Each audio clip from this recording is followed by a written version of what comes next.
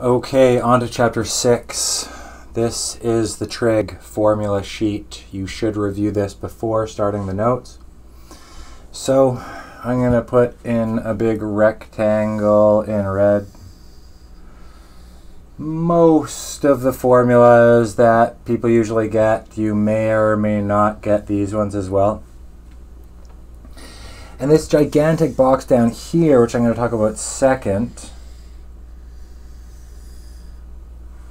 is some nice little little methods, little good things to do all the time as a checklist or process or whichever.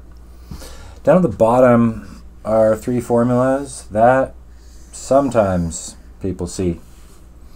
Um, without them to do certain problems are very difficult using only the rectangle above, but find out from your teacher, print it off, ask them which ones you need to know. So let's start at the top. Uh, the Pythagorean identities. Pythagorean identities. Sine squared theta plus cos squared theta is equal to 1. Uh, to use that one a lot. All the time. Just like, just like 90% of the time. 99. 99. Eh, whatever. A lot. Uh, two off to the right, we're going to use not so much, but those are identities, and we'll talk about them later. The reciprocal identities right below, reciprocal and quotient identities, we're going to use those all the time. This one, this one, this one, which we've spoken about before, and the two off to the right, which we've spoken about before. We're going to use all the time. 99%. All those. 99%. The addition identities down below, we have to recognize if we see certain patterns, these are patterns Sine always has the same sign. Cos is the opposite sign. Sine is sine cos, cosine. Again, sine cos, cosine. And cos is cos cos, sine sine. And again, cos cos, sine sine. So if you ever either recognize the pattern on the left or the pattern on the right, you have to be able to convert it to the other, no problem. Down below, double angle identities. They're called double angles because we double the angle. And the next part of the, this video, I'm going to talk about how we get back and forth between the different two, specifically using the Pythagorean identity and double angle identities, which we're going to go over later in the notes. But specifically, cosine 2 theta has three options.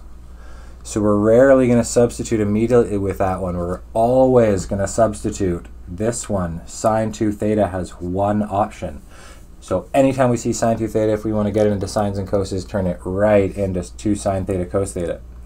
But because, back to the left, cosine 2 theta has three options, again, sometimes we're going to hold off and work on other parts and just then later decide which one we want to substitute. And down to the bottom really quickly, these formulas for tan. Some schools use them, some don't.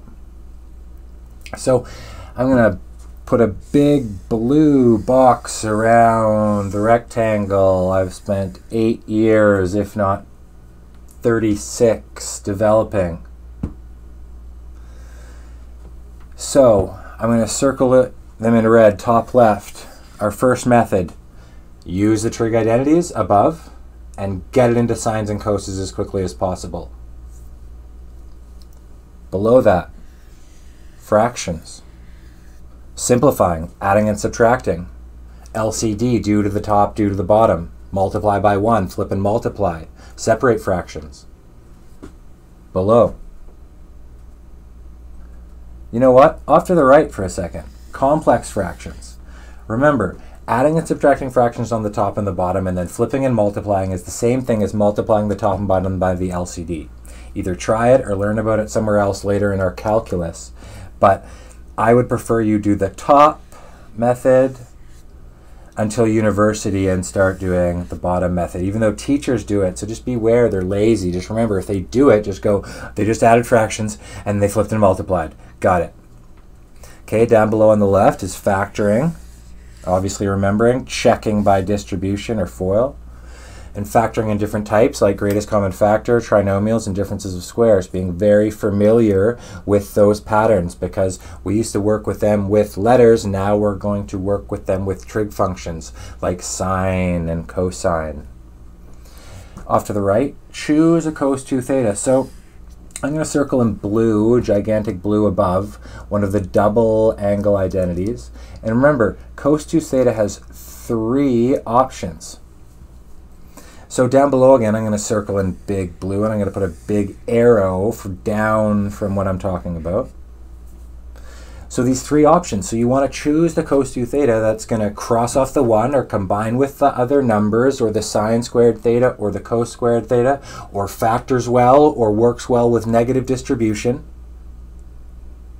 And you decide which one of these three options for cos 2 theta. Again, off to the right, sine theta has one option. So sine 2 theta has one option. So if you ever see it, put 2 sine theta cos theta in for it right away. It's only got one option. But back to the left, cos 2 theta has three options. So once again, we want to choose the cos 2 theta to cross off the 1 or combine with the numbers or the sine squared or the cos squared or factors well or works well with a negative distribution.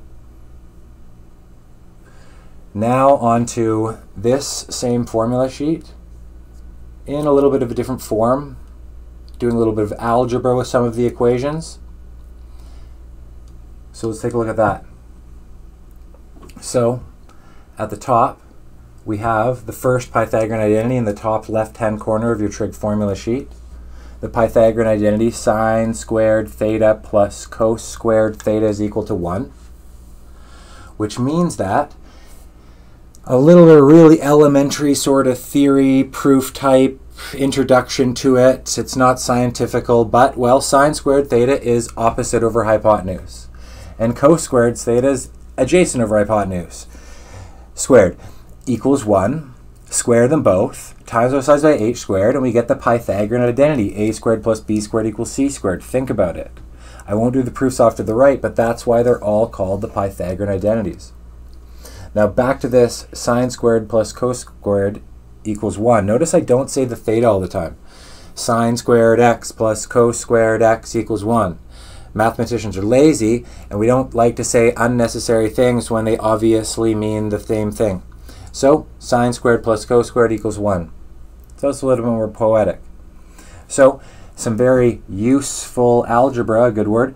If I take it and I'm going to overline it in big red, and I either subtract cosine squared from both sides or sine squared from both sides, I get these two very interesting, very useful substitutions for either sine squared or cos squared if you think about it, on the right-hand side, 1 minus cos squared is actually a differences of squares. 1 plus cos, 1 minus cos.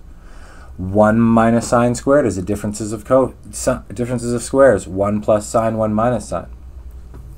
Other identities, sine over cos equals tan. Through division and flip and multiply and secant the same way. Notice we're going to have to get really good at our flip and multiply. And that's how we get our other three definitions. And now this double angle thing. Just going to believe me for a bit. And later I'm going to actually prove it, or I'm going to actually talk about proving it. I just copied it off the internet. But if we look at the big arrow, big arrows, and on the left hand side, if I break 2x up into x plus x, and then I use the addition and identity of sine x plus x is sine x cos x plus cos x sine x. You'll understand it a little bit later. Well, that's equal to 2 sine squared x cos x, so that's why it's equal to the right-hand side. Down below, cos squared x cos 2x is equal to cos squared x minus sine squared x. And on the left-hand side, if we break up the 2x into x plus x, and we use the addition identity to expand a cos x plus x, well, that means that it's a cos x cos x minus sine x sine x. Very poetic. And we still know that it's equal to the right-hand side. So now, just sort of running and round in circles around the formulas just so you kind of get in a feeling of how they work. So now the bottom one on the left, y is cos 2x equal to two other things? Well, it's also equal to cos squared x minus sine squared x for all sorts of reasons. And if I overline the cos 2x that we talked about, er, cos squared x, that I talked about earlier, is equal to 1 minus sine squared x, you can see where I put it in above the first line in brackets and then that simplifies and that gives the third the second identity for cos 2x and we do very similar work over here which you probably can't see on the bottom of the video. Print off the notes. Print off the notes. Uh, so sort of seeing how all these formulas work together and whatnot but I can't stress enough back to the first page really understanding this big huge box.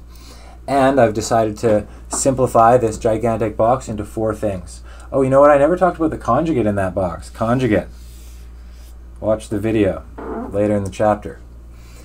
So in the top right hand corner, I'm going to red box the methods, IDs, using the formulas below. Fractions, adding and subtracting fractions, multiplying and dividing fractions, flipping and multiplying, separating fractions, LCD, etc. All the rules we learned in grade 8 with fractions. Factoring, greatest common factor, trinomials, differences of squares, etc. And then the conjugate. If we're really good at those, I'm going to outline them top right in blue again. Identities, fractions, factoring, conjugate. We're going to be really good at these next sections.